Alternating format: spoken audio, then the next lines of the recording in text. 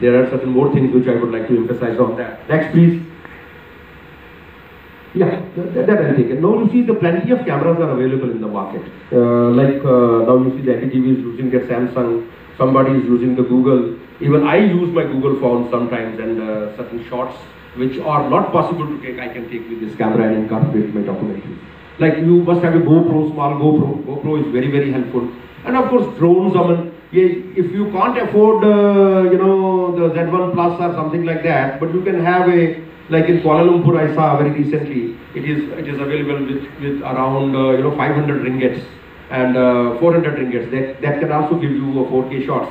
But that uh, does include uh, an awe factor in your uh, documentaries. Um, uh, again, you should have an understanding about uh, the cinema cameras. Rather, you know, if you are making a very high-profile documentary, and uh, you know, there are sequences. Like, say, for example, if you want to use macro lenses, you are making a film on the butterfly, or maybe you are making on the film on the insects. My another film.